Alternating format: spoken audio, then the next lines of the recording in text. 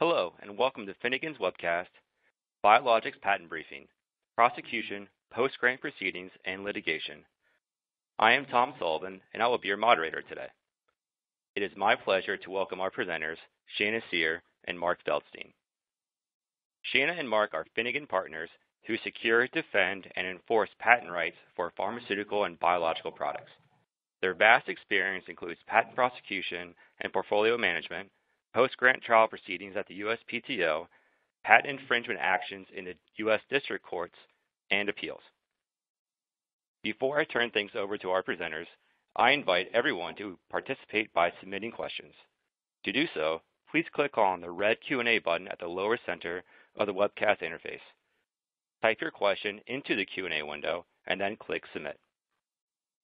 You can submit questions throughout the program, and our question and answer session will take place at the end. To enlarge the slide window, please click on the green Enlarge Window button on the top right side of the slideshow. The slides will advance automatically throughout the webinar.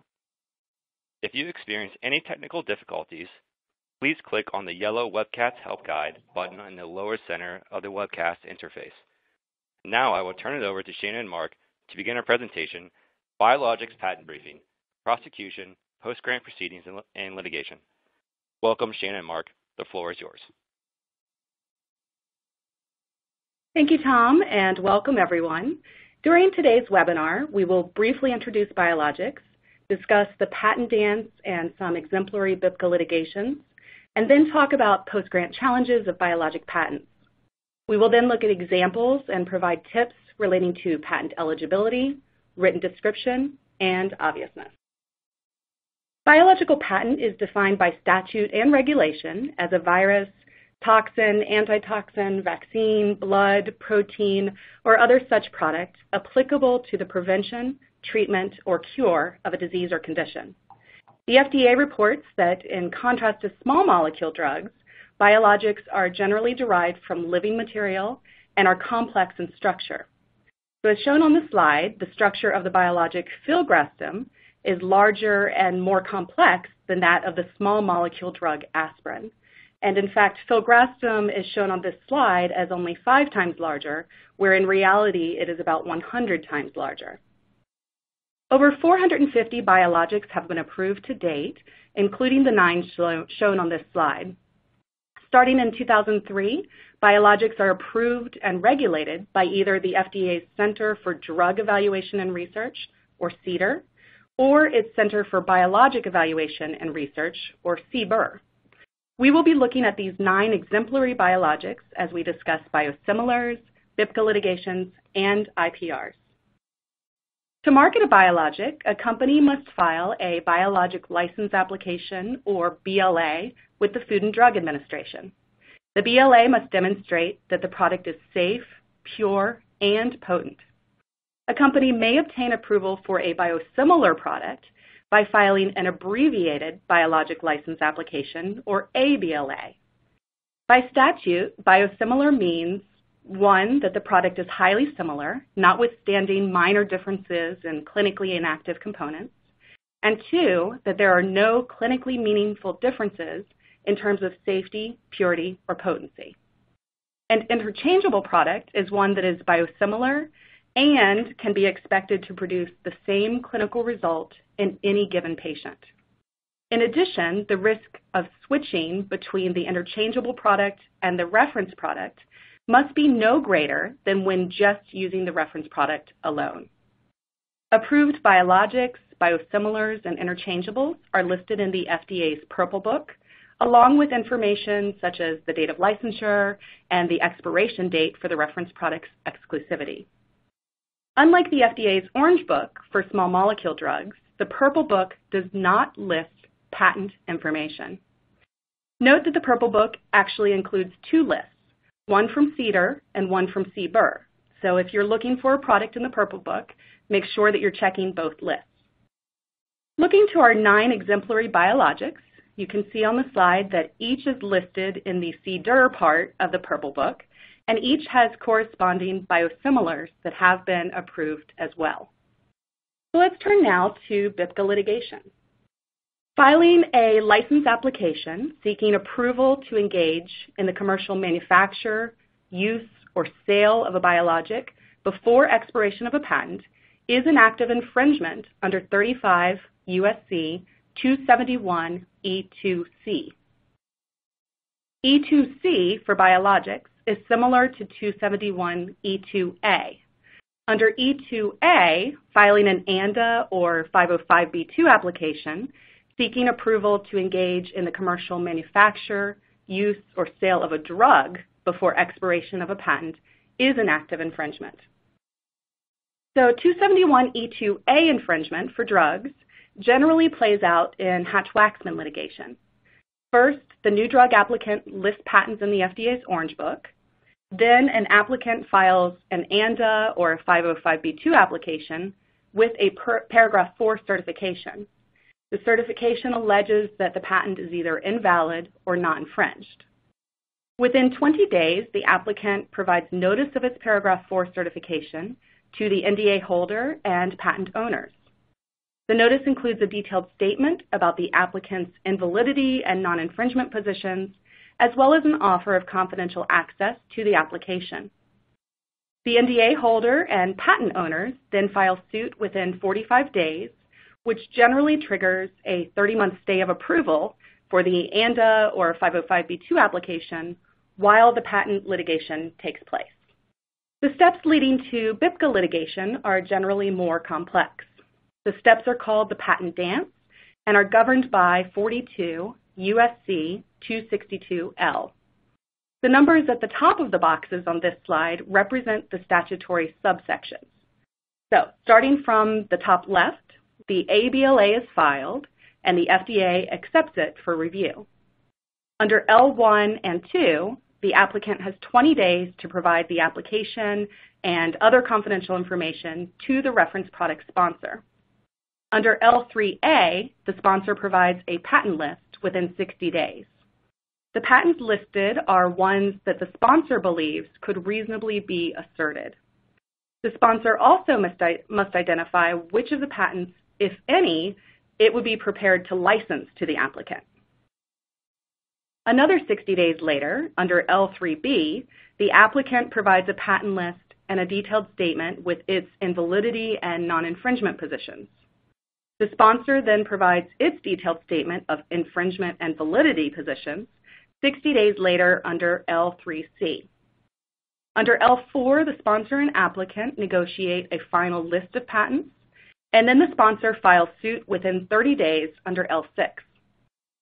If the sponsor and applicant do not agree on a final list after 15 days, then under L5, the applicant identifies the number of patents for the suit, and the parties simultaneously exchange a list of that many patents. The sponsor then files suit within 30 days. In a second phase of BPCIA litigation, governed by L8 and 9, the applicant provides notice at least 180 days before its first commercial marketing. Case law tells us that this notice can be given before or after the ABLA is approved. The sponsor can then seek an injunction as to any patent on the party's initial list that was not litigated, and the applicant or the sponsor can file a DJ action as to those same patents. So how is BPCIA litigation different from Hatch-Waxman litigation? Four differences are shown on this slide. First, in Hatch-Waxman litigation, the applicant provides notice of its application through the paragraph 4 notice. In BPCIA litigation, this occurs during the patent dance when the applicant provides its application and other confidential information to the sponsor. Second, in Hatch-Waxman litigation, the applicant first provides its invalidity and non-infringement positions in its paragraph 4 notice. But in BPCIA litigation, this occurs during the patent dance when the applicant provides its detailed statement with its positions. Third, the patents litigated in Hatch-Waxman cases are generally those listed in the Orange Book, whereas BPCIA litigations generally involve patents identified during the patent dance. And fourth, Filing a Hatch-Waxman litigation generally triggers a 30-month stay of approval, but this is not available in BPCIA litigations. Instead, the patent owner in a BPCIA litigation may need to seek a preliminary injunction. Once the litigation starts, there are a lot of similarities between Hatch-Waxman litigation and BPCIA litigation. This includes with regard to proving infringement and defending against validity challenges. The available remedies are also similar. As provided in 271E4, remedies include injunctions preventing the biologic or the drug from being approved until the patent expires, damages if the product has been commercially manufactured, used, or sold, and possible attorney fees. As of last October, both Hatch-Waxman litigations and BPCIA litigations require that settlements be reported to the FTC and the DOJ. So let's talk more about the patent dance. The statute and case law give us information about what happens if the applicant takes or avoids certain actions. First, the applicant likely cannot avoid the patent dance altogether by filing a declaratory judgment action because the action would likely lack adequate case or controversy. Second, if the applicant does not provide a copy of its application or other required information, the sponsor may not force them to do so with an injunction. Instead, the sponsor, but not the applicant, may file a DJ action. Third, if the applicant does not provide a patent list or a detailed statement, the sponsor may file a DJ action as to any patent on the initial list.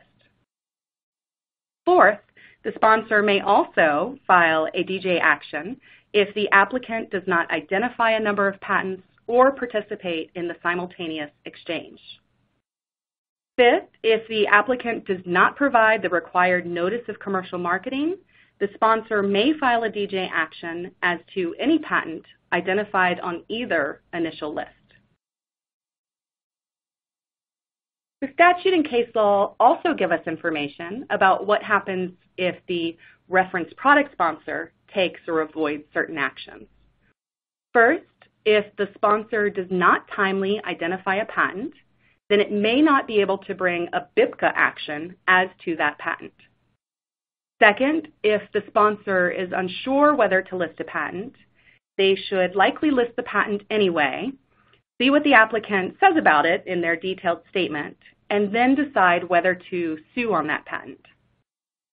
Third, if the sponsor does not timely file suit, then their remedy for infringement may be limited to a reasonable royalty under 271E6.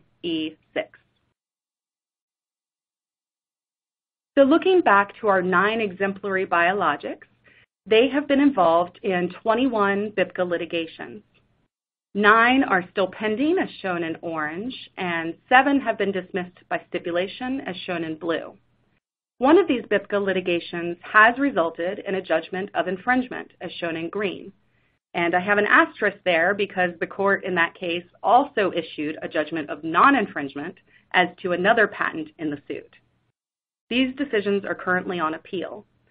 As shown in red, there has been one judgment of non-infringement, which was affirmed by the Federal Circuit, two summary judgments of non-infringement, which are on appeal, and one dismissal for failure to state a claim of infringement, which is also on appeal. So this slide shows the 21 BPCIA litigations represented in the pie chart we just looked at, with color coding corresponding to that in the pie chart. So I'd like to look now at the one infringement decision, which is the one in green, and the four non-infringement decisions, which are the ones in red. So the infringement decision is from the District of Delaware in 2018 and currently on appeal. After Hospira filed an abbreviated biologic license application for an Epogen biosimilar, Amgen sued Hospira for infringement of patents identified during the patent dance.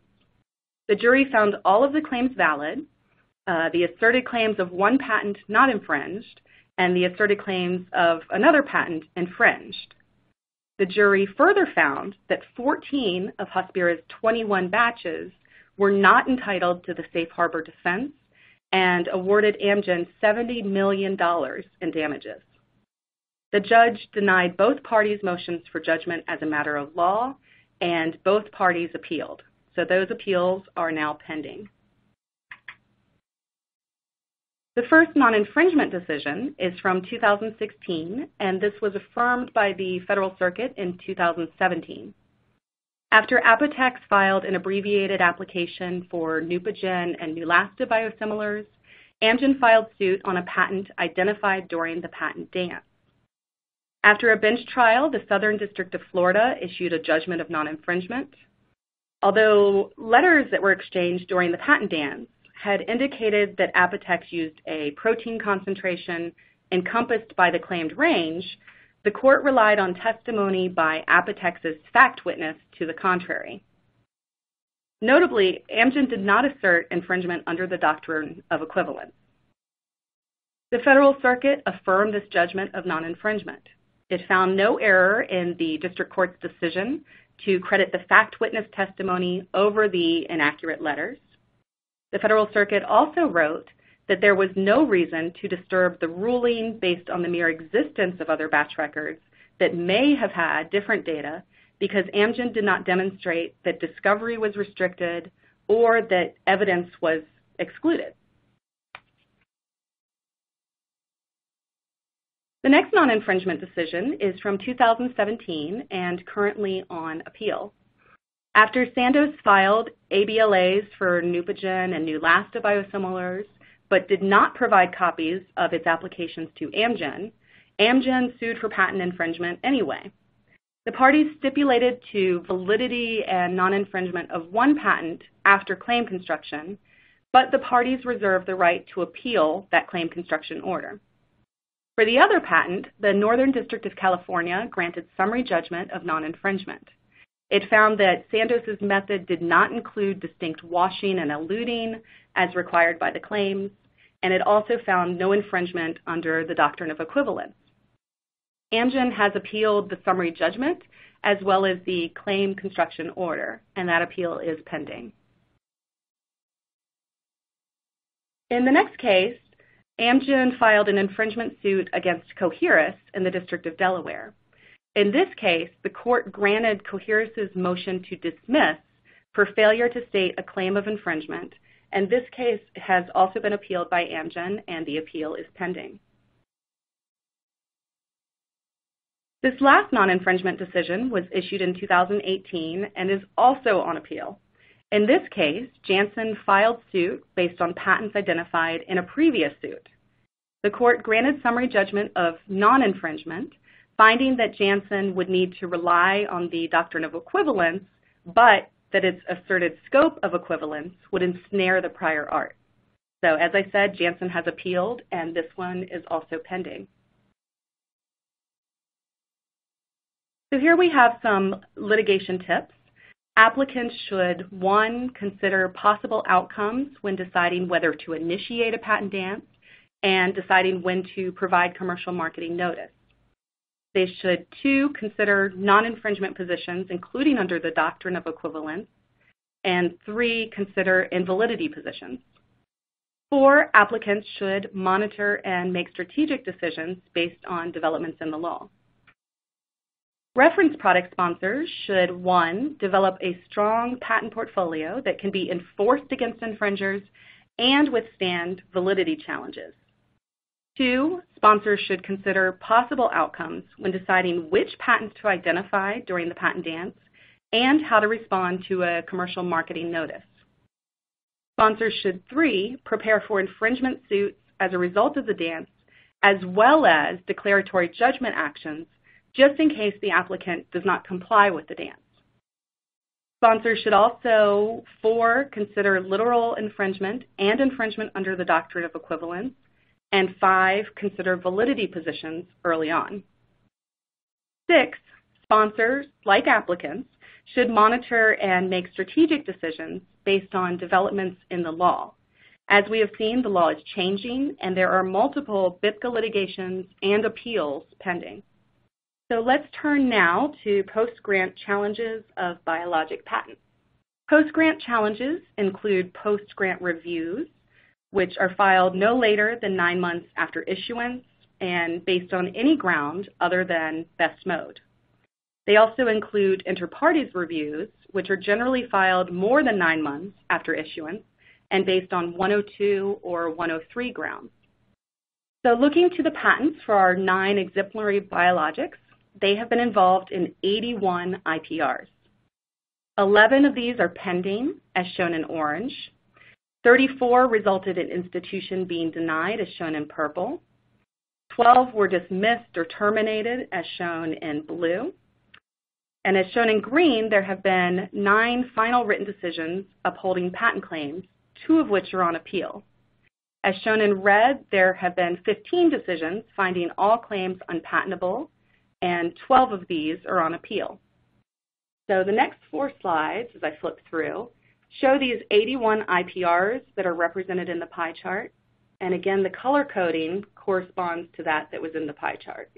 So institution of an IPR may be denied under 314A, 325D, or 315B.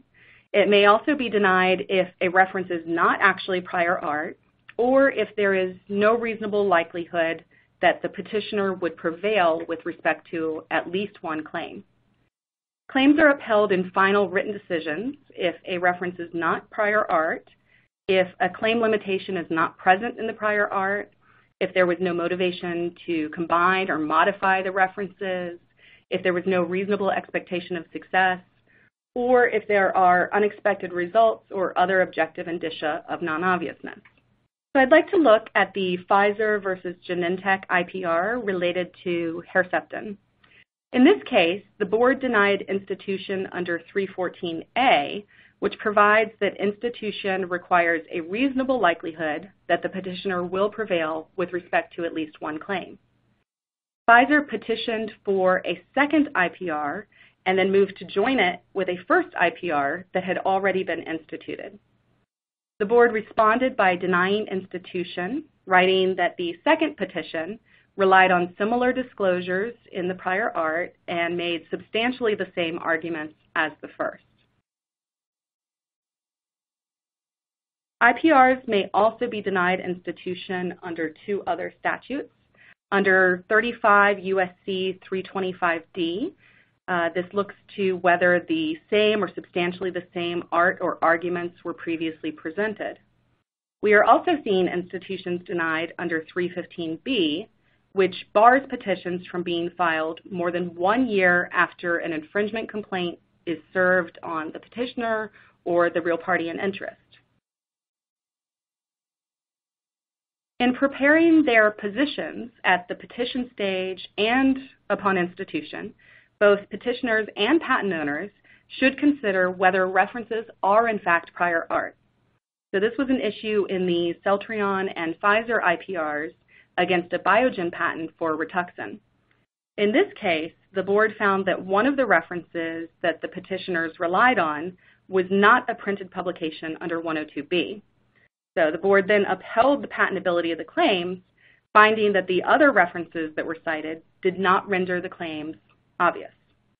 Uh, the petitioners in this case appealed, but actually as of yesterday, that appeal was dismissed by stipulation.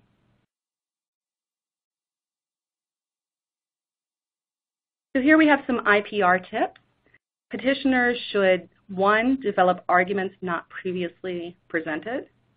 Two, petitioners should be aware of deadlines and possible time bars. They should, three, provide evidence to show that references relied on are prior art. Four, fully explain arguments on the merits. And five, monitor and make strategic decisions based on developments in the law. Patent owners should one, consider procedural reasons for the board to deny institution. Two, consider arguments that cited references are not, in fact, prior art. Patent owners should, three, develop arguments on the merits. And four, monitor and make strategic decisions based on developments in the law. As we saw with BPCIA litigations, there are multiple IPRs for biologic patents and appeals of those IPRs currently pending. And with that, I will turn it over to Mark. Thank you, Sheena.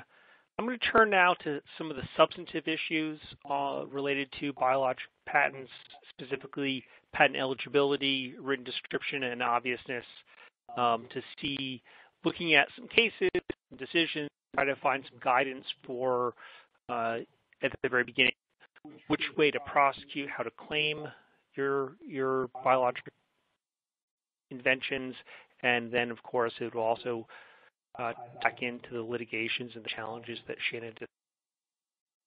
So we'll start with eligibility. Um, the, the statute is there. Whoever invents or discovers any new and useful process or any new and useful improvement thereof may obtain a patent therefore. Um, by itself, it's actually not that informative. Uh, it's not particularly not that informative of how it's been applied in practice. It's been modified substantially by judicial exceptions, abstract ideas, laws of nature, and natural phenomenon are designated ju judicial exceptions to eligible subject matter. And you know, everyone in the patent field knows that this is a moving target and quite dynamic and uh, continuing to change. Uh, just how how broadly the judicial exceptions are applied to preclude um, inventions from being eligible subject matter. So if you look on the right-hand side of this slide, we have part of a new flowchart from the PTO trying to explain and shortcut the process for a, streamlined analysis for how you determine whether or not a claimed invention falls within the judicial exceptions to 101 or not. So the, the real key to this new um, process by the F, by the PTO is this prong two at the bottom. Does the claim recite additional elements that integrate the judicial exception into a practical application? And this is this is going to be where it seems that the PTO is trying to help tip the process, tip the analysis to finding things, finding inventions to be patentable. Because even if you recite one of the judicial exceptions, if you have additional elements that integrate the exception into a practical application, that'll take you out onto the left-hand side of this slide, and it'll qualify as eligible subject matter. So we can look at some examples of this. Um, this case, this genetic technologies case, there was a claim, a method of detecting at least one coding uh, region allele of a multi-allelic genetic locus. And there's an amplifying step. And basically what you're doing is basically what they're doing was amplifying a non-coding region associated with an allele to be able to analyze for the presence of that allele. And it seemed that this was entirely novel, the idea of looking for an allele not by its coding region, but, but by its non-coding region. And so novelty wasn't a question, um, but the court found that notwithstanding it being novel, it's still essentially just a natural law of correlating the non-coding region, its presence or absence, um, with the uh, with the, the allele.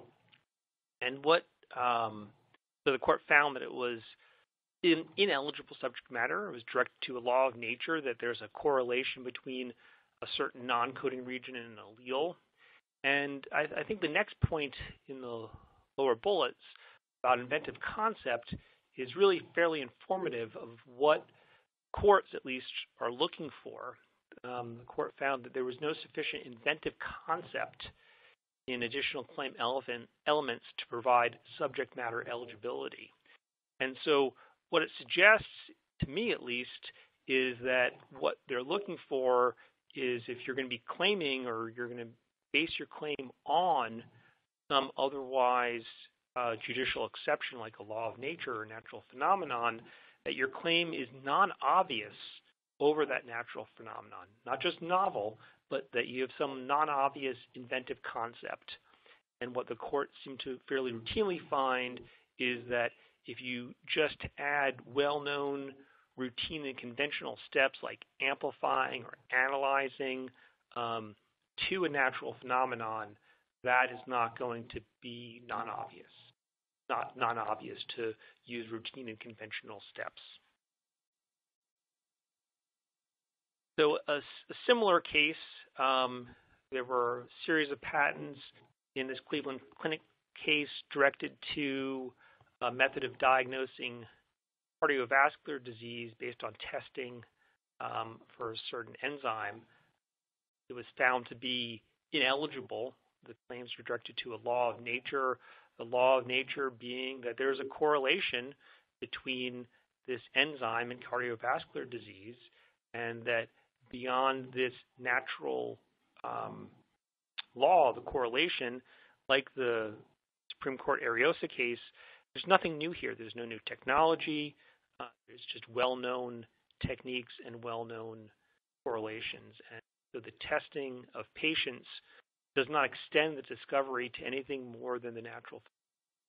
Um, it merely step claim merely states that those interested do the, correlation of this natural phenomenon.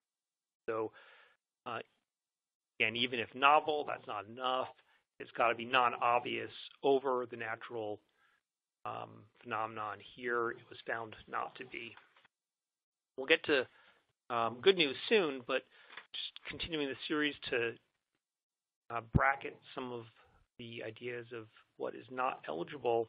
Um, there's another, there's a Roche case here um, where there was a method of detecting uh, tuberculosis in a biological sample suspected of containing the compound where you subject it to a polymerase chain reaction that would amplify the material if it was there, and then you detect the presence of the presence or absence of the amplified product. Um, and the material that is amplified is indistinguishable from the natural product. It just is the natural product amplified. And the PCR is a well-known and routine process that didn't convert the method claim to eligible subject matter. So uh, it's again, it falls in line with these other cases of you've got a natural phenomenon, natural correlation between the presence or absence of some information, and then you're going to make a conclusion based on that. And even if novel, it's just not obvious. It's just not non-obvious to do that and therefore is not eligible subject matter. So, but there are cases in the biologics area where uh, patent eligible subject matter has been found. This rapid litigation case is an important one. Uh, people still try to argue that their claims are more analogous to this. Um, and to the extent that one is newly drafting claims, certainly it's a model that one should look towards applicable.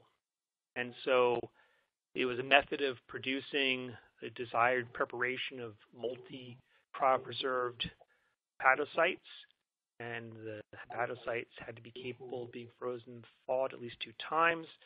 And then the method was injecting the hepatocytes to density gradient fraction, fractionation recovering them, and cryopreserving them. And so you can see that there's an argument that this is just conventional steps, um, that you uh, fractionation conventional, separating conventional, cryopreserving conventional, but the court looked at the claim as a whole and said that's not what's going on here. It's not just conventional steps on a biological process. It's a new and improved way of preserving hepatocytes for later use. And so you look at that the process steps achieved as a desired outcome of creating um, multi cryopreserved hepatocytes, and you were not just simply detecting whether or not they lived or died from, from cryopreservation. You're actually method of producing uh, a certain population, a certain preparation. And looking at the claim this way, it was distinguished from Myriad, a well-known process, and Ariosa, a patent ineligible natural product. And so again, rapid litigation here, a method of actually producing something uh, novel is in the direction that one should be looking to draft patent eligible subject matter. And now Vanda. Vanda is probably the most important case for um, pharmaceutical methods um, in terms of eligibility.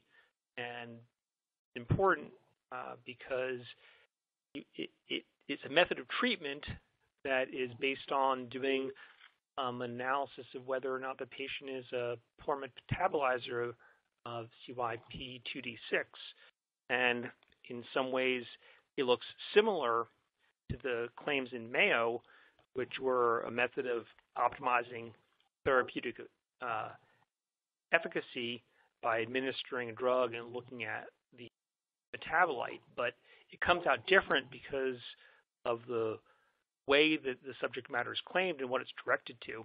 And so what's important in the Vanda case is that uh, starting with the preamble, that it's a method of treating a patient with iloperidone, so, uh, and the patient is suffering from schizophrenia, so you're having a specific drug to a specific patient, and then within that method, you're performing certain steps, um, including looking at whether the patient is a poor metabolizer of CYP2D6 or not, and then uh, administering based on that termination. And then finally, we probably should have highlighted in green too, the last clause you have that it, it obtains a certain result. So a, a specific drug to a specific population and for a specific result of where you have a lower risk of QTC prolongation um, than you otherwise would with this subpopulation. This is exactly what the court did. The court looked at the very specific nature of the claim, the very specific things that it did, the determining step, the performing step, the administering step, and we've highlighted in the, the middle bullet specific. It, it's the specificity of the claim that really helped it um, get over the threshold because there may be a, a correlation between dose and whether you're and QT prolongation depending on whether you're a poor metabolizer or not, but that's not what the claim was to the court found. The court found that it's not reciting the natural relationship, but it's reciting a method of treating patients based on that relationship. And so basically it's an application of a natural relationship to achieve um, a, a safer dosing. And so if we were to go back all the way to our slide 40, the PTO new flow chart, it's there's a natural relationship there. It's clearly a natural phenomenon that's being involved, but it would go through this prong two at the bottom. It would pass this prong two at the bottom that it's reciting additional elements that integrate it into something more than just an. To somewhat conclude on the 101 material, um, in terms of tips, you know, if you're claiming a natural uh, a judicial exception like a natural phenomenon, um, you need to look to make the claims non-obvious over that judicial exception, over that natural phenomenon. Don't don't think that novelty is enough. To look for non-obviousness. Um, adding conventional techniques isn't going to do it more likely than not uh, to get that non-obvious. Things like correlating, determining, and diagnosing, there's just so much case law on there that these are sort of red flags that are going to make your claim look like they are ineligible, at least look a lot like claims that have been found to be. So where you're involving a natural phenomenon, want to take it into some practical application like the Vanda case, a method of treating a patient. That's the direction you want to go, a practical application of the natural phenomenon, not just some non-obvious correlating step related to the natural. So additional thoughts on eligibility, to the extent possible, you want to claim um, claims that recite something other than a judicial exception, and so we didn't really talk about it today, but non-naturally occurring material, uh, to the extent that that is part of the process, either produced as part of your process or a result of the process or can be non-naturally occurring material like cDNA, those are going to be um, eligible even if there are natural phenomenon involved or they should be eligible. Um, and then specific processes like the cryopreserving process under specific conditions. Specific processes are also the way you want to be looking to for eligibility. I'm going to move on to written description. Written description for biologics is also um, a little bit of a moving target. Um, at least there's been some substantial changes over the last few years that affect how you claim biologics, particularly in the antibody space. Uh, the statute itself isn't particularly enlightening here for what you need to do specifically for a biologics, but is just the starting point, 1, 112A. You need a written description of the invention and of the manner and process of making using it. What does that mean for biologics? Well, for time, and this is what I was referring to as some of the big changes that have gone on. For a long time, there was an antibody, a so-called antibody exception to the written description, where if you could identify the antigen, that would be enough, the antigen, the epitope, that would be enough to pass written description. But what the court said in Amgen versus Sanofi in 2017 is that no, there's no such antibody exception. You can't just identify an epitope by itself and say that that's sufficient written description for any antibody there too. So this, this antigen-focused test flouts basic legal principles of written description requirement. Um, and so the USPTO, just over a year ago, changed their guidelines in view of Amgen, Sanofi, to say that written description of a newly characterized antigen alone, that's the point, should not be considered adequate written description of a claim antibody. And so if you're prosecuting, you know, this is this is important guidance that you want to be you want to claim antibodies to some antigen, you can't just have characterized the antigen. And what the PTO points you to and what uh, Amgen points you to is that you need to look to the conventional tests for written description per Ariad, those being that you need, if you're trying to claim a genus, um, you need either a representative number of species or you need to describe the common structural features. So we'll go through a couple cases. Again, here a few, we'll start with ones that don't pass muster.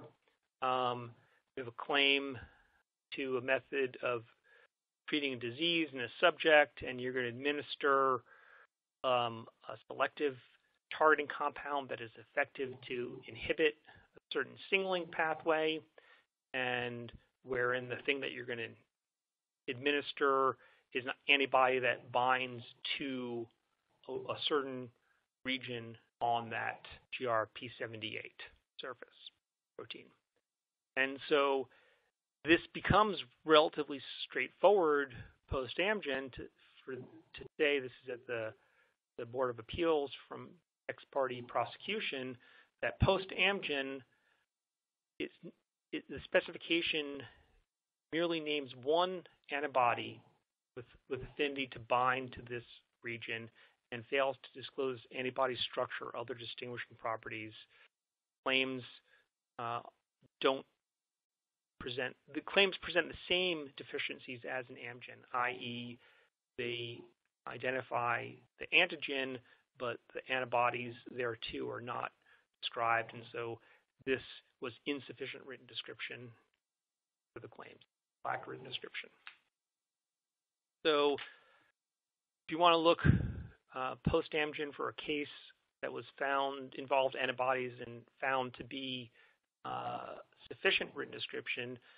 There's this parte Grosmaire case, also uh, ex parte appeal, and it was a human or chimeric CD37 specific immunoglobulin binding protein, and it had a light chain with a certain sequence. You can see sequence ID 1, etc., and a heavy chain with other sequence IDs in there, and then wherein the binding protein binds to human CD37.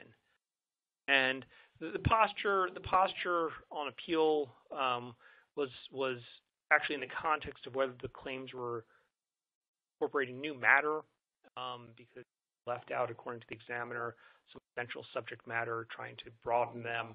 But the, the holding is in the rest of the analysis is still relevant here that looking post Amgen, here the specification described both the antigen, the CD37, and the CDR sequence is critical to ensure binding.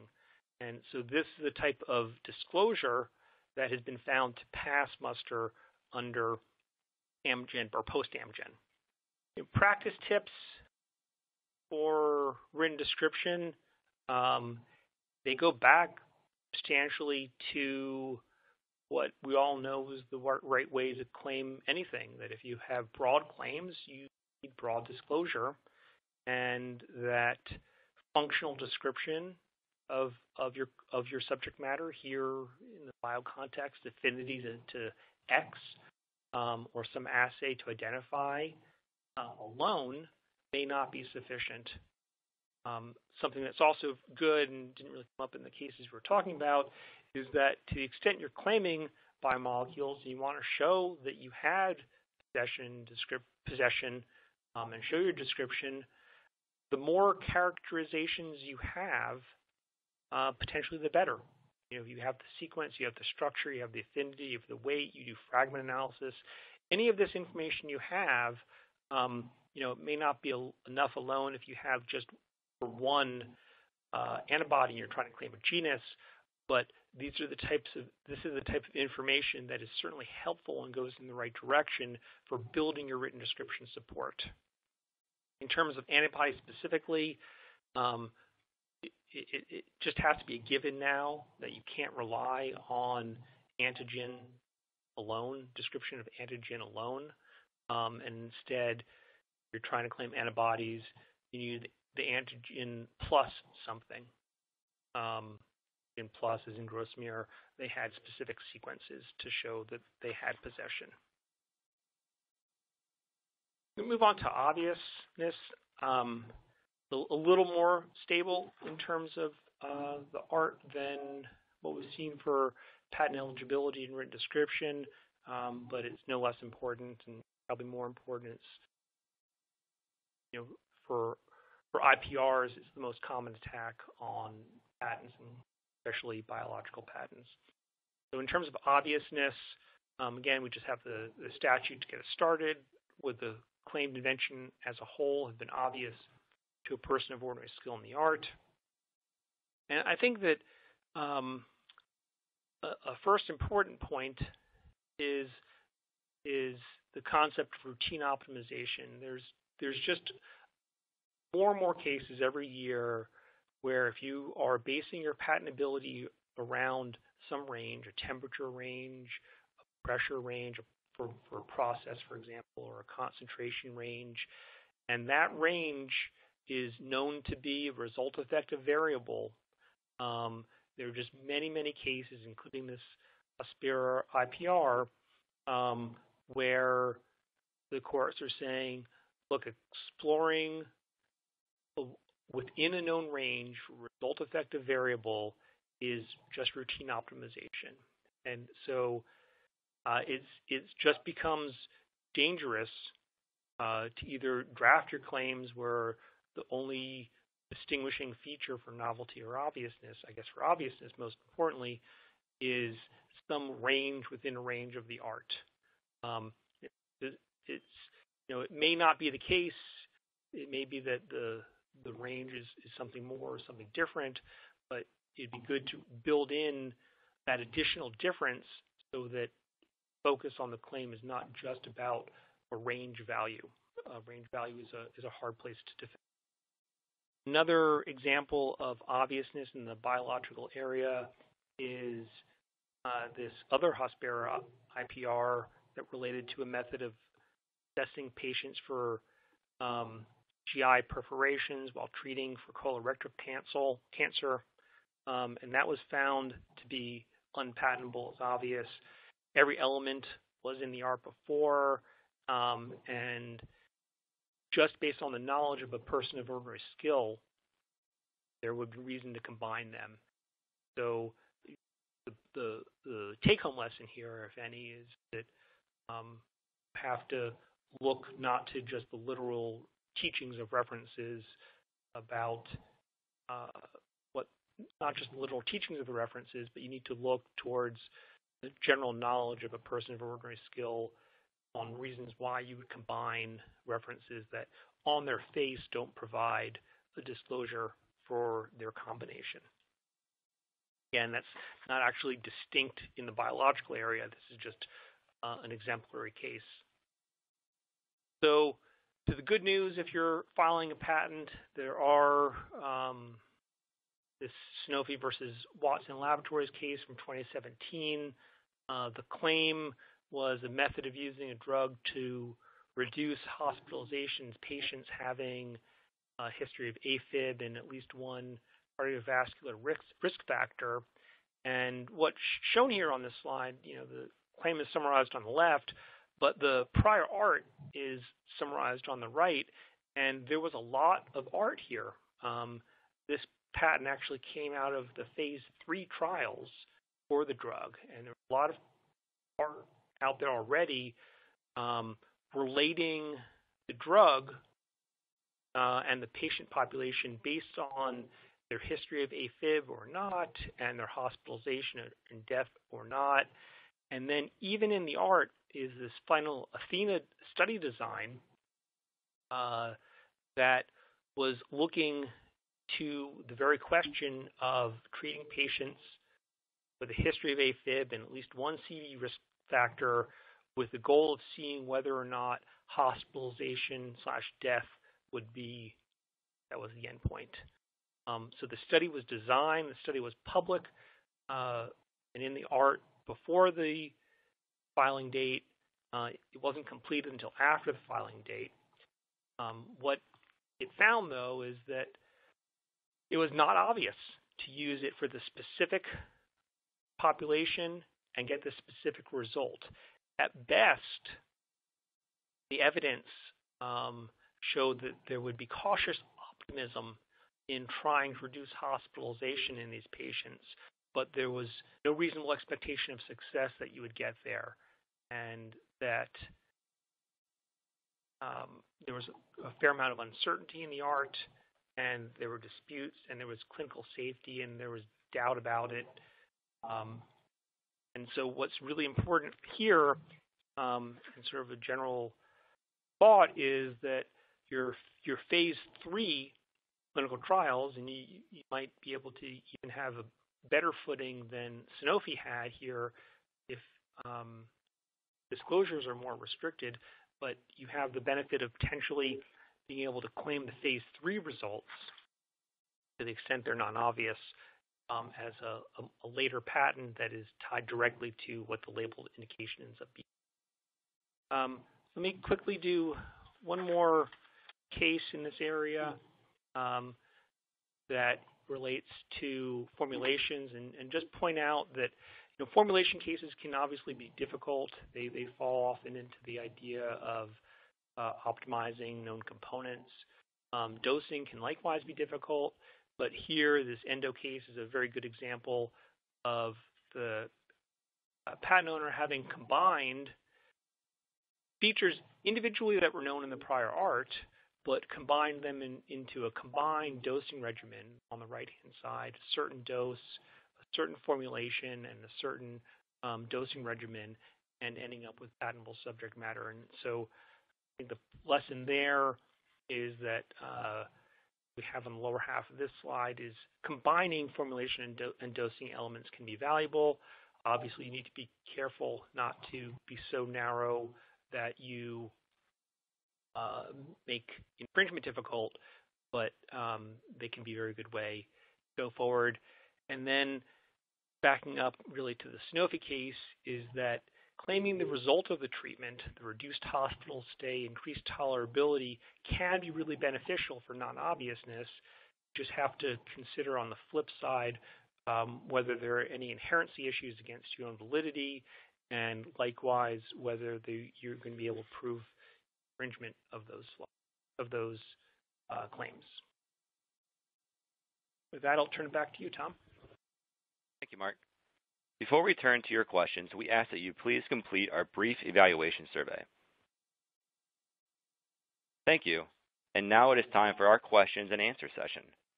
As a reminder, you can participate by clicking on the Q&A button, typing your question into the Q&A window, and then clicking Submit.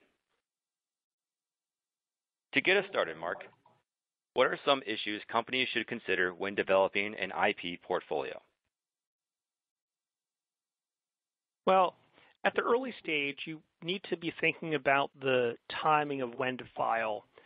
Uh, if you file too soon and too broadly, uh, you may not be able to have the written description support for what you ultimately want to claim, but at the same time, you may be building prior art against yourself. And so uh, the issue of when to file your first round of, of discoveries is fairly critical um, so that you are able to claim and protect your area without um, undermining your ability to claim improvements thereof later. And so there's not a specific bright line of what to do except for recognizing that there's a balance in terms of the timing. It's not necessarily the ideal thing to file as soon as possible.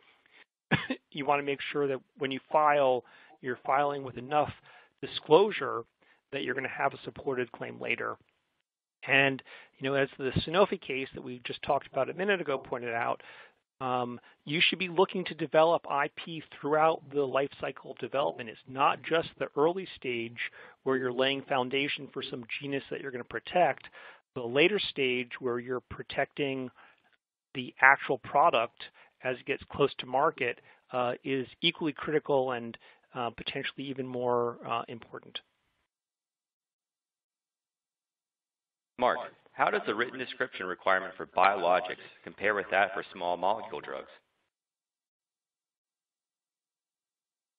At this point, I, think all signs are pointing to um, they're one and the same. Um, I think that was the, the thrust of the Amgen case is that you need to look to Ariad, uh, you need to look to the idea of whether you have a representative number of species and whether if not, you have to describe the common structural features. And so for biologics, just like small molecules, that needs to be the guide. To the extent biologics are more unpredictable than small molecules, the general guidance is that the more unpredictable the area, the more disclosure you need, the more species and or common structural features you would need. Thank you, Mark. Turning to Shana, how can a company identify patents associated with a particular biological product? So that's a great question. If the company files an ABLA and engages in the patent dance, then the reference product sponsor should be providing the company with a list of patents as part of the patent dance. Um, if the company, though, wants patent information before filing an ABLA, uh, it's, it's, more complicated. So the Purple Book in its current form does not include patent information like the Orange Book does for small molecule drugs. So figuring out what patents might be associated with a biologic requires a lot of patent searching and analysis, and this can be pretty challenging on both the legal and technical sides.